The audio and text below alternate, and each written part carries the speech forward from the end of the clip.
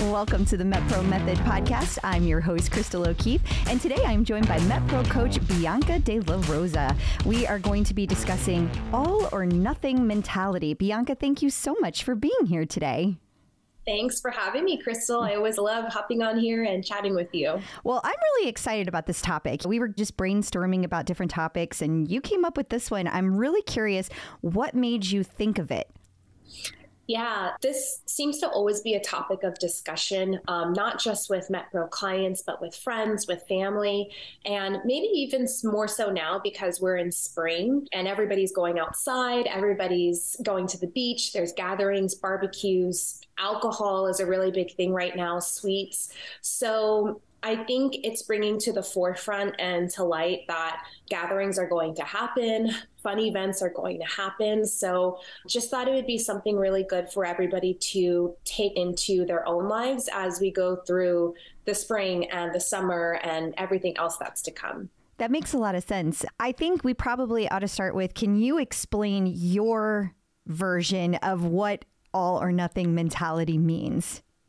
Yeah, this is really just your black and white thinking, labeling food as either good or bad or healthy or unhealthy. And therefore, it sets the tone of food is either good or bad for eating specific foods and just labeling foods almost in a way.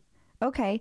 And I feel like people might ask the question, why is that a bad thing? Like if you label, like if you know like for instance you know chocolate's my downfall so i will say chocolate for example if that's if that's labeled bad and i say i can't eat that isn't that a yeah. good thing uh, I mean, if you label something bad, you're basically telling your brain that you can't have it. That's a restrictive type of eating mindset. And so when you set your mind to tell yourself that you can't have something, it automatically makes that food item more desirable. You want it even more.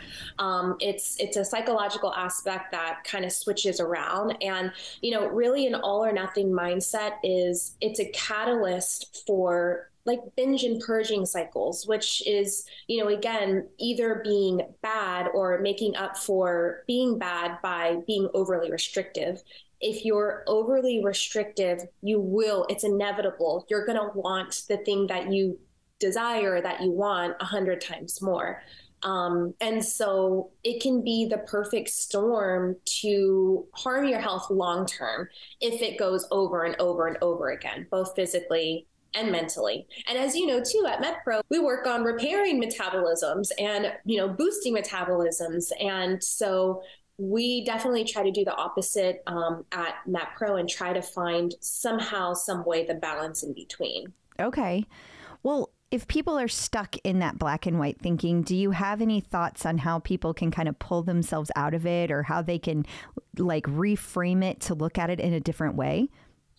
Yeah, I think really it's just trying to recognize any all or nothing approaches that you have to food. And so by recognizing that you're thinking a certain way or that you're putting on labels, you become more self aware. And that's really all we're looking for is self awareness.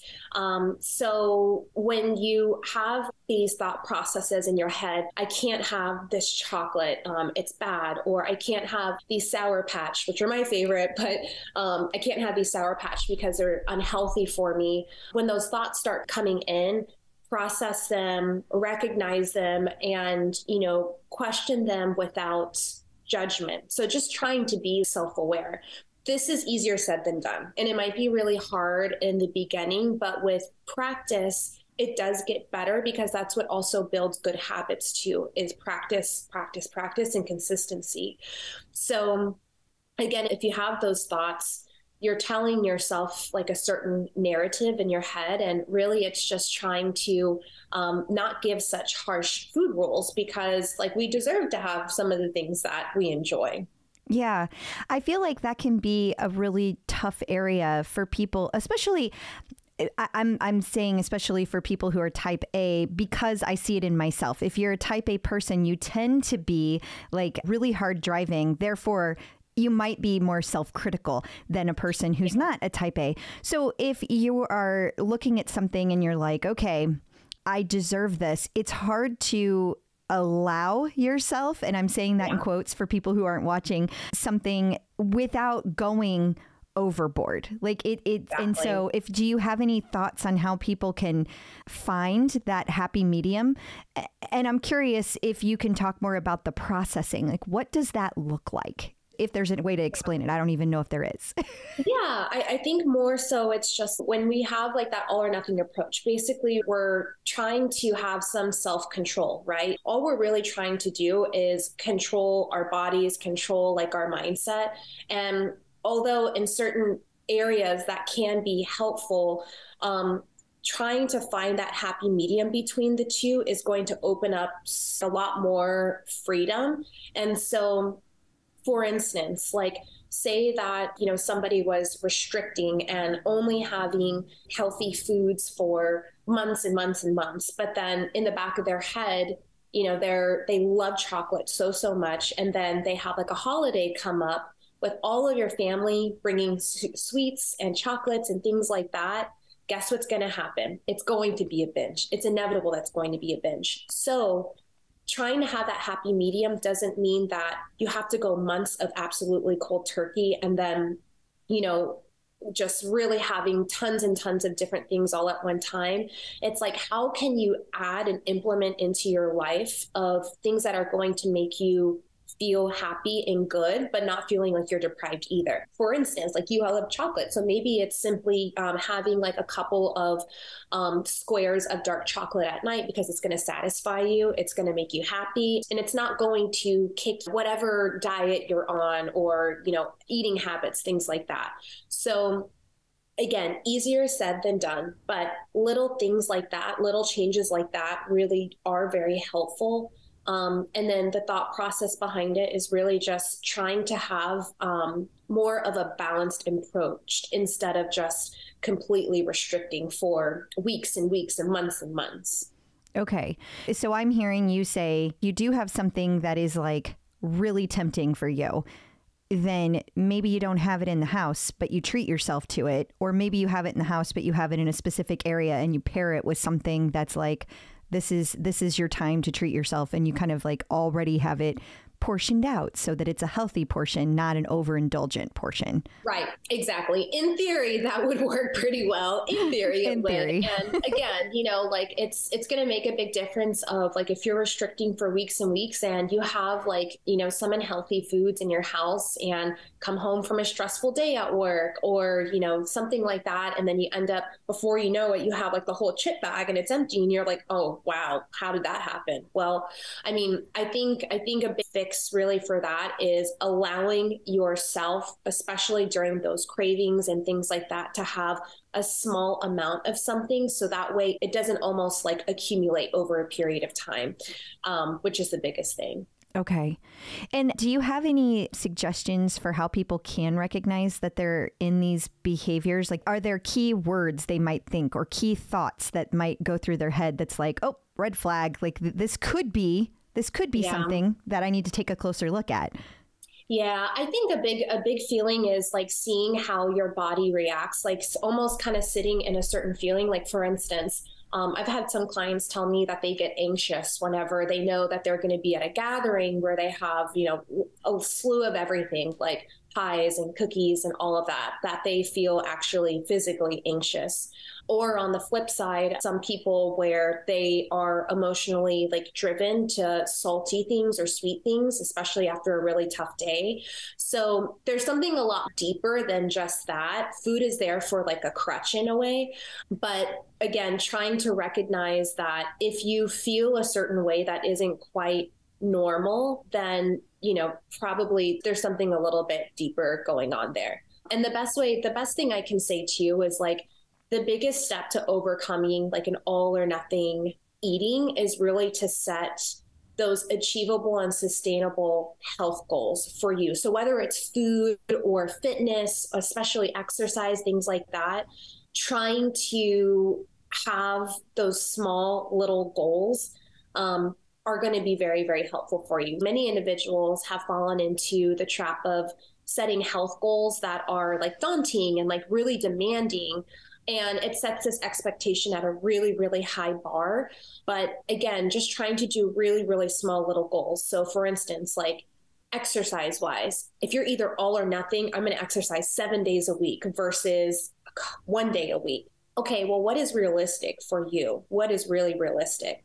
On the flip side, with food, again, what is realistic for you? If you know that in the past, going cold turkey has worked for you, but then on the flip side, you've gone either extremely healthy or not healthy at all, trying to create that small health goal of how can I find the middle? Um, I hope that came out right and makes sense. yeah, it did. It did. And maybe for people who might have trouble kind of processing it, can you give me some examples like so I struggle more with food than the exercise aspect of it. But but I will say exercise, like you said, it, it, the the big goals versus the small goals. There have been times that I'm like, well, if I can't do a 45 minute ride, what's the point? Uh, yeah. So what would you yeah. tell somebody if they came to you and they said, ah, I was going to do a 45 minute ride, life happened, I couldn't get it. What would you say to them?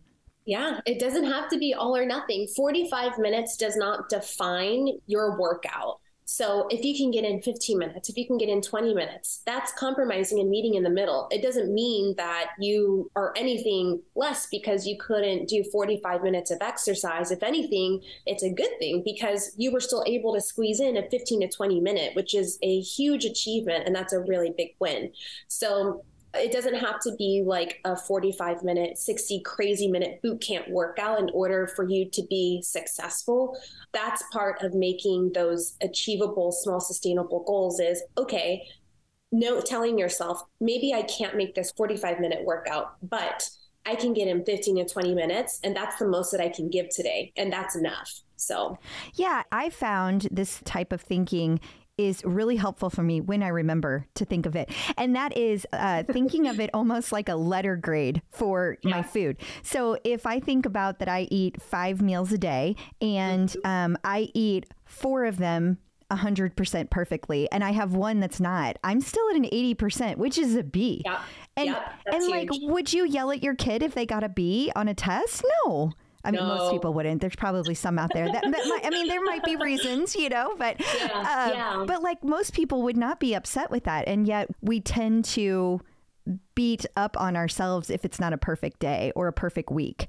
Yeah, you bring up a really, really good point. If you are, for the majority of the time, um, and I, you know, I don't want to put like a percentage to it, but for the majority of the day, if you're really eating fairly healthy, um, healthy meaning just foods that nourish your body and that make you feel really good. That's the key right there is nourishing. You don't have to label it as healthy, unhealthy. Foods that truly nourish your body and make it feel good then yeah, have that dinner or a glass of wine or something like that to where it can help balance it out. Now, I do want to say that there there's a difference between balance and then going full out. You know, we can't treat ourselves for every single meal of the day. That's a that's a whole completely different topic. But um, just trying to have the balance in between the two and feeling good about it as well. You don't have to feel guilty. You don't have to feel like you did something wrong because it's not true at all. And the other thing I was actually going to bring up too is there's also a big difference for people that have like food sensitivities and you know health conditions ethical reasons religious reasons around certain foods too that's not necessarily all or nothing. It's just they literally can't have certain foods. So yeah, um, yeah, I thought I would bring that in there too. That's a really great point. Yeah, that's not the same thing as what we're talking about here. Right. Exactly. Exactly. Uh, sometimes as a coach, and I'm curious how you deal with this if you ever get this question, I get questions from people who feel like they failed if they didn't follow only the food lists in their MetPro app. And uh I find, or they went out to dinner or um, something like that. And I, I find that, again, people have to be kind with themselves. Like if, yeah. if going out to dinner is super important with your family once a week, that kind of thing. But they feel like they failed if they did that. What would you tell somebody? Yeah, I mean, my first reaction would be there's there's no failure here at all. Especially if you're if you're on plan, you're hitting your meals, you're getting your water intake in, you're getting in, you know, some type or form of like movement or exercise. There is no failure there. The only failures that come is when we don't try or give effort. Outside of that, having a meal out once a week with like your family or your friends, that's living life. That's having balance. We can't just stay in our houses and cook all of our meals 24 7 um, in a perfect world okay maybe but you know we're we're living life where we have like events and gatherings and holidays and friends and all of that good stuff and that's that is having the freedom and the liberation to also live life while also feeling confident in that, yes, I can eat foods that nourish my body, that make me feel really good, um, while still having a little bit of flexibility to choose other foods that are going to make me really happy too. So, again, finding that happy medium. kind of that's kind of the uh, the theme here today. yeah, exactly, exactly. It's it's it's hard. It's hard to really think about if we've been in this ebb and flow of like fad diets and the cycle and things like that, it is difficult. And I, I completely understand that. Um, we have been trained as humans to, you know, diet, then go back to normal, diet, and go back to normal. So it can be difficult to think about or even imagine that there is compromise to being in the middle, but there is. And it's just about like practice, being self aware, um, knowing where um, where some of those like emotions that you're feeling to certain foods are coming from, why they're coming up, um, and then kind of taking a little bit of a deeper dive into that. Um, but there, there is definitely there's a way to do it for sure. Absolutely. And and I just want to add as a, a general disclaimer, we we highly recommend that if you're having some of these issues on a regular basis and you're not sure what to do with feelings that are coming up, by all means seek out therapy. That it, there are lots of people that can help you with these very specific things and it's it's normal and healthy and uh, there's a lot of help that can that can come from that. So just want to make sure we we put that out there.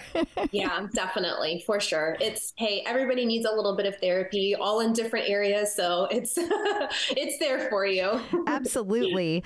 Uh, is there anything that we haven't covered when it comes to uh, that kind of all or nothing mentality that you want to make sure people know? Yeah, I mean, I think I think overall, um, just know that there is a way to find there is a way to find balance, and you don't have to feel like you um, have failed if you didn't do something 100%, if you gave yourself, you know, a grade C or B or anything like that. Um, give yourself a little bit of grace, especially if you have earned it too, um, in the way that you generally eat really good, nourishing foods that make you feel really well. A little bit of grace can be given to everybody. Um, so that's that's what I would say first and foremost to everyone. I think that is wonderful advice. Uh, Bianca, thank you so much for your time today. I really appreciate it.